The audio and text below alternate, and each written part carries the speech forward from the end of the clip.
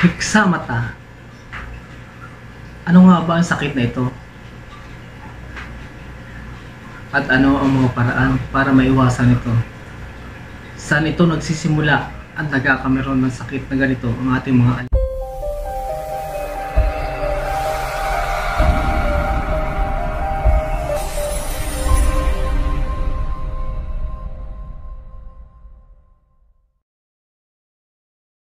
Unang-unang mga kahabi, ang sakit na ito ay nanggagaling sa maduming tubig na pababayaan tangke. Ito kasi nagsisimula sa kon- kontaminadong tubig. O sobra-sobrang pag-live feeding. Bumibigay ng mga raw food kagaya ng ah, chicken heart, tubifex, ah, bloodworms, shrimp. Yan ang unang-unang dahilan yan kung bakit nagkakasakit ng hexameta ang ating mga flower. Okay na naman bibigay niyan ah, once ah, mga raw food. Huwag lang palagi. Ah, once a week. At siguraduhin yung malinis. Yung mga ibibigay niyo pag raw food. Kagaya ng Tubifex.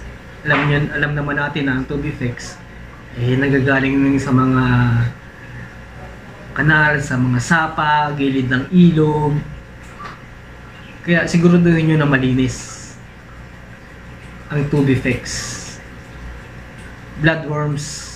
Okay naman ang bloodworms. Kaso nga lang, pag sobra-sobra. Ganon din ang shrimp. Chicken heart. Ganon din. Dapat laging malinis. Food. Once a week lang. Ah, i-consider nyo na lang na treat do sa mga alaga natin para bigyan sila ng ganon. Hindi pwedeng araw-araw talagang magkakasakit ang ating isda. Yung mga pagkain kasi na yan, enhancer yan, eh, enhancer na ating mga flower horn. Pero hindi mo pwedeng gamitin yan ng ng palagi. Kumbaga, treat lang natin sa ating mga alagang isda. After after feeding ng raw food, kailangan uh, water change uh, 50 50% 30 to 50% no feeding halimbawa ngayon binig, binigyan mo ng ng raw food yung mga alaga mong isda. Kinabukasan no feeding ka na. No feeding no feeding and water change para yung binigay mong live food ngayon madadigest nila ng maayos.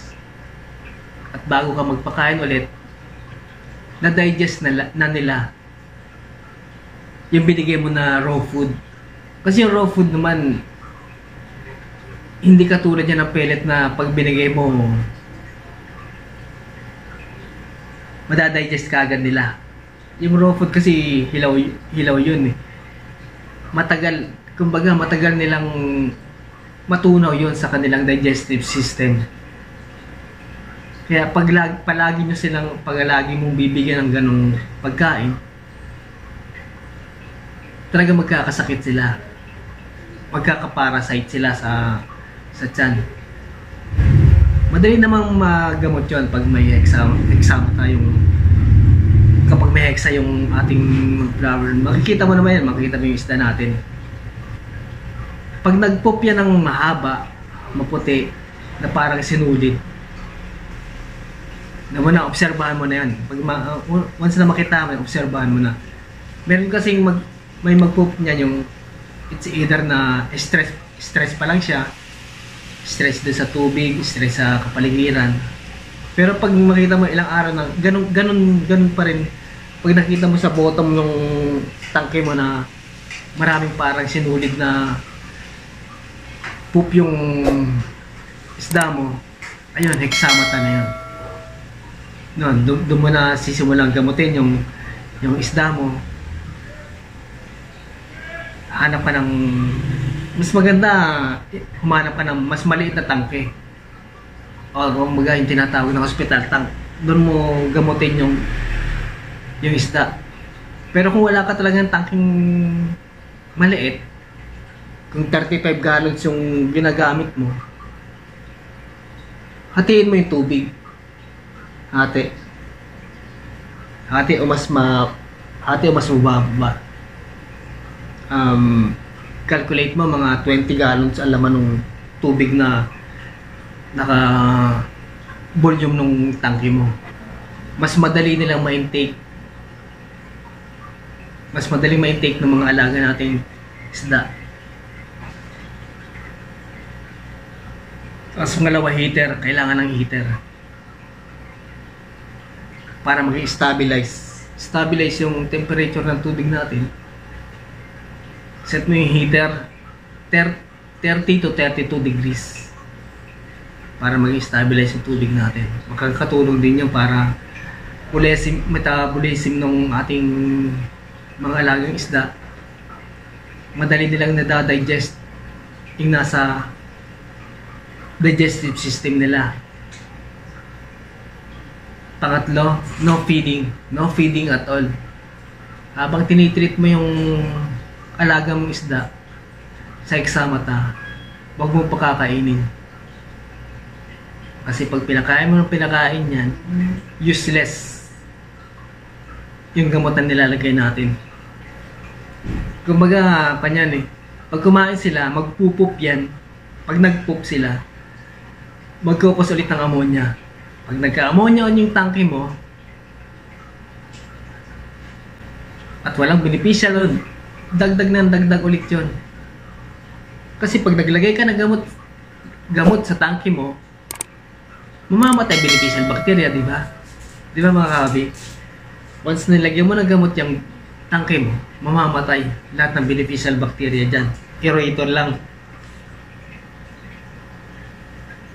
Para may lang sila may oxygen. Kasi pag nilagyan nyo ng pag hindi nyo tinanggal yung sponge filter, higupin lang, higupin lang doon sa sponge. Mapupunta lang sa sponge. Yung gamot na nilalagay natin. Gamit lang, mas maganda, gamit lang kayo ng air stone para lang magiging supply ng oxygen ng ating mga isda. Paulit-ulit lang yung sistema ng gamutan natin hanggat sa mawala yung yung sakit.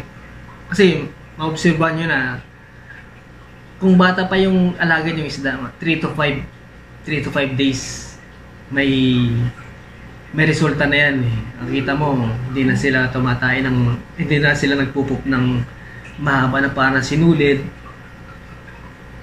Masigla na sila doon sa loob ng tangke. Pero pag malaki na yan, yung, pag malaki na yung yung isda mong gagamutin. Mas matagal, mas matagal talaga, mas matagal talaga. Mas matagal. Aabutin ng 10 to 15 days. Kaya makikita mo yung isda mo, talagang ang kulay niya, pale na pale na. Tapos yung cook niya, talagang nag-shrink na siya ng sobrang liit talaga. Kasi nga, wala na. Kumbaga, kum- komplikado na yung komplikado na sakit yung kanyang kanyang katawan. Kaya wala siyang pagkain, hindi siya nakakain. Tapos puro gamot pa yung nasa kapaligiran niya, ini-intake niya. Kaya lalong humihina yung ating mga alagang isda. Ganun lang ang gamutan ng hexamata. Lagay ka ng gamot ngayon, after 2 days water change ka. Tapos lagay ka ulit ng ng gamot. Tapos water change ulit. Ganun pa ulit-ulit lang. Tapos after 15 days stop mo yung stop mo yung paglalagay ng gamot.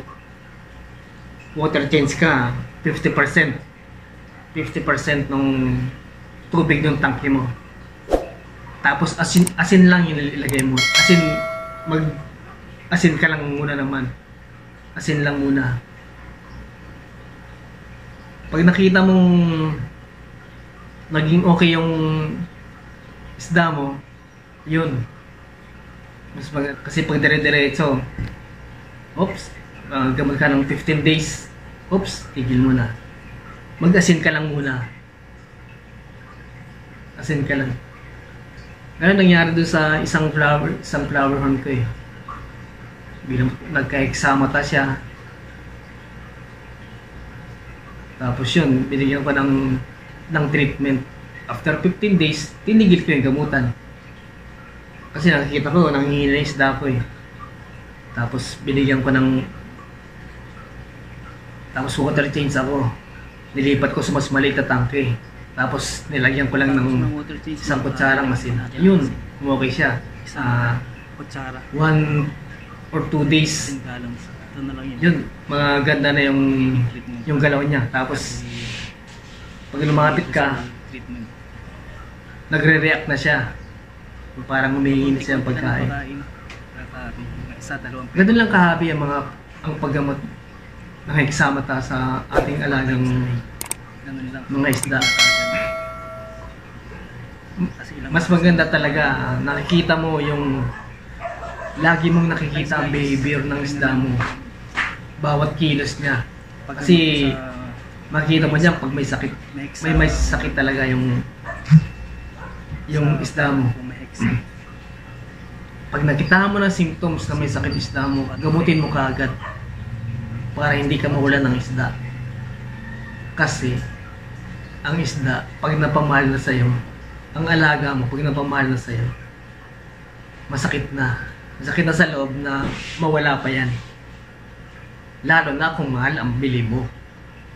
Sa fry, di ba, mga kahabi? Kaya mga ka-fins, Maraming salamat sa panonood na aking video at sana nakapulot kayo ng aral sa aking mga tinuran. Huwag niyong kalimutan mag-subscribe, like, share, and comment down below. Thanks for watching, Kafins. Until my next video,